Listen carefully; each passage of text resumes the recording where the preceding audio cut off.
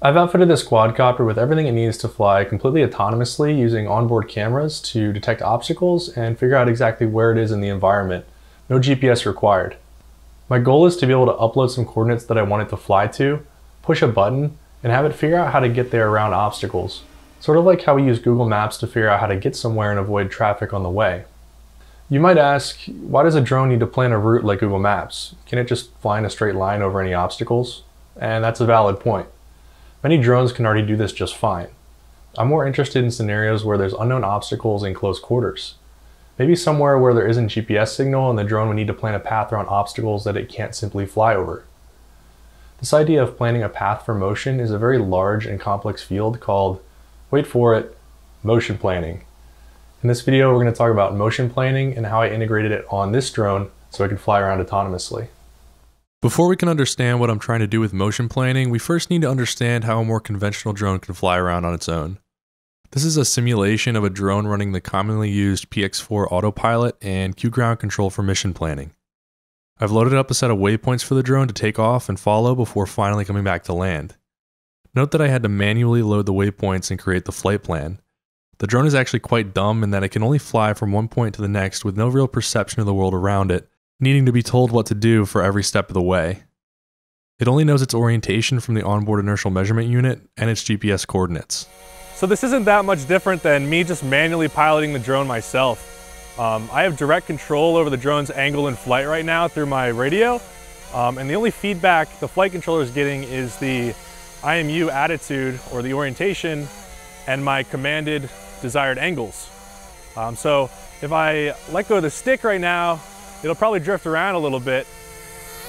Yeah, uh, there's no position feedback. So if I want to get the drone from point A to point B, I just pitch the stick forward until it gets to point B.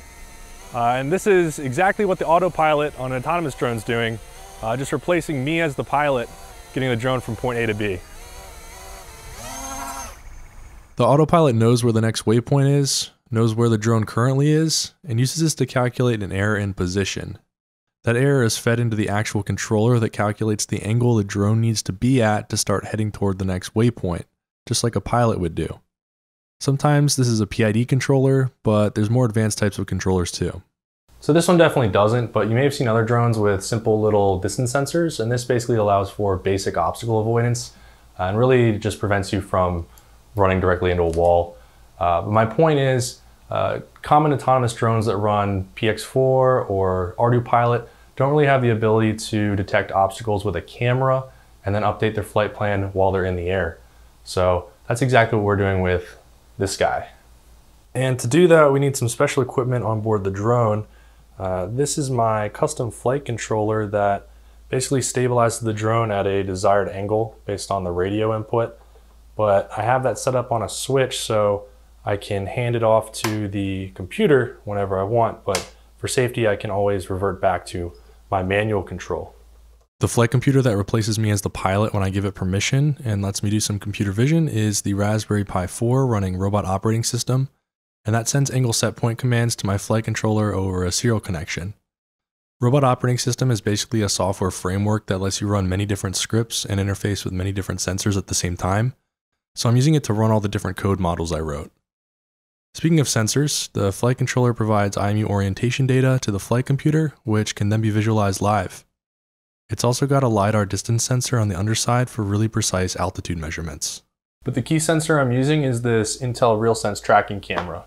This camera can accurately pinpoint its position in 3D space by tracking features and their motion between camera frames known as optical flow.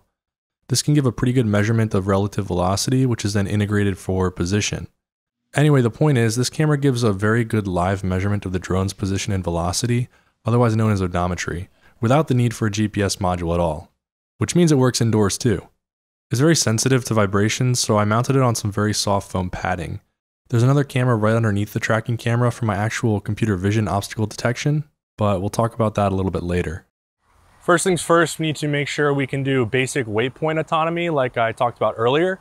So we're going to take off in manual mode and I'm gonna flip the switch and hand control of the vehicle over to the Raspberry Pi 4 and that ROS environment. And that has a position controller that I wrote um, based off of the measurements from the RealSense tracking camera.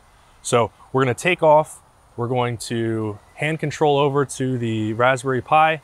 Uh, it should hold position, and then we're gonna start sending it some waypoints from the ground station just to verify that we have that baseline level of autonomy. And then from there, we can add the higher level of autonomy with the obstacle detection and the uh, motion planning. Okay, I have the drone right now. Now I'm gonna flip my switch and it's gonna go to computer control and it's gonna hold its position. So now, computer control. And I am hands off and it is hovering in place here. Okay, so now I'm going to send it to a waypoint uh, about one meter forward. Sending. Okay, there it goes. And we're doing this at a fixed altitude of about one meter because this project is immensely complex and high risk and I only have one quad, so we're gonna keep the altitude low. Okay, so let's send it one meter to the left now. Sending. Sending. There we go. There it goes. Excellent. All right, I'm gonna take over control and uh, land.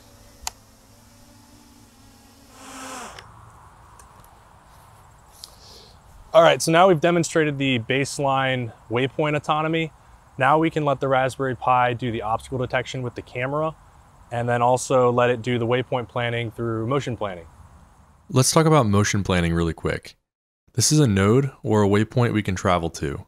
This is an edge or a path we can travel over to go to a new node. A bunch of interconnected edges and nodes is called a map or graph.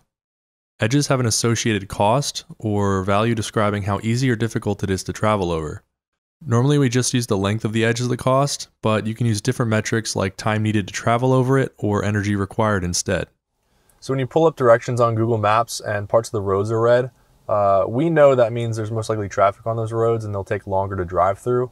But what it really means is that the edge cost to travel over those roads is much higher and Google Maps will most likely direct you around them when planning your route. So let's talk about the algorithm behind this. So we have a graph we can freely travel over, and we've defined our starting and ending nodes. We want to find the fastest or optimal path between them. Let's use Dijkstra's algorithm. We take the starting node and look at all of the neighbor nodes connected to it through an edge.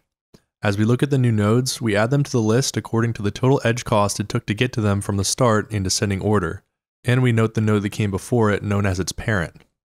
Then we start moving down the list of checked nodes in order of descending total cost, checking all nodes connected to the current node and adding those to the list accordingly. We only update the total cost to a new node if it hasn't been checked yet, or if the cost to get to it from the current node is less than the cost from the last time it was checked. We keep doing this until we reach the goal node. We can then trace the shortest path backwards by following the parent nodes we recorded. Finding the quickest path over a simple graph may seem trivial, but it gets exponentially harder on more complex graphs. You may see a small problem with Dijkstra's algorithm. We're searching in all directions, which slows it down. What if we know the general coordinates of the goal node? A-star is an algorithm nearly identical to Dijkstra's, except we use the linear distance between the current node we're at and the goal node to help prioritize what order we should circle back to expand from that node in the list we talked about earlier. This leads to an algorithm that guarantees we find the optimal solution in the absolute shortest number of moves.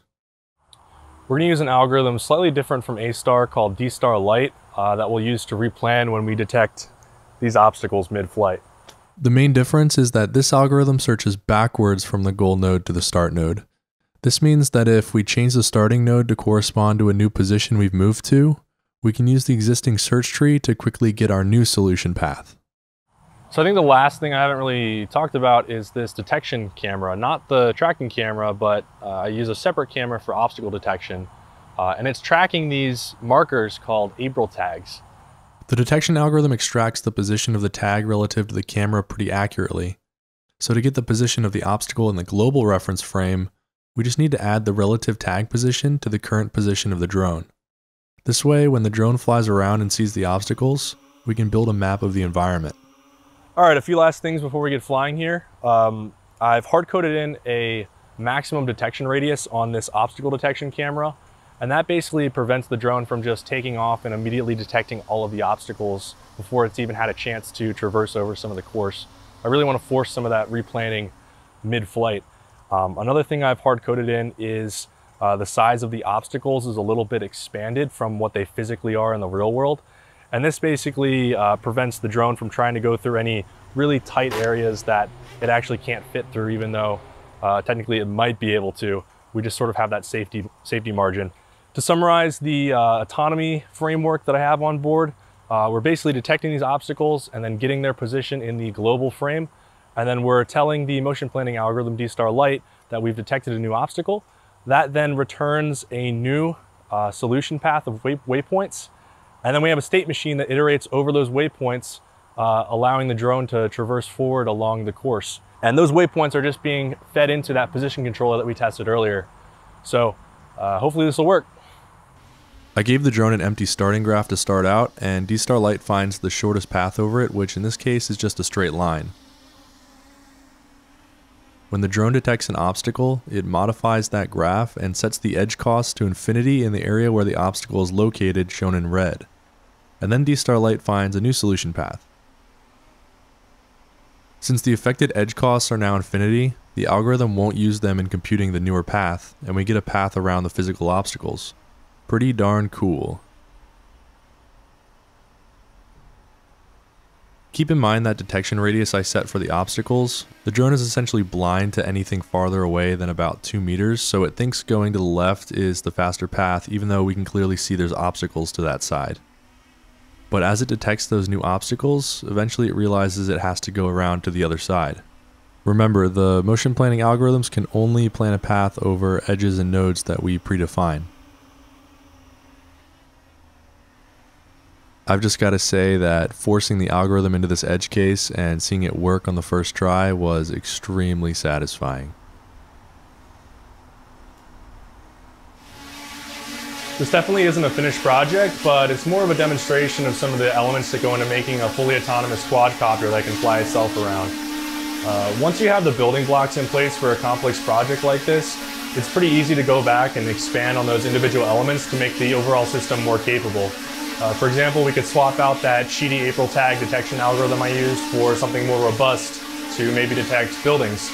Or we could expand our motion planning from two dimensions to three. Anyway, I hope you learned something interesting.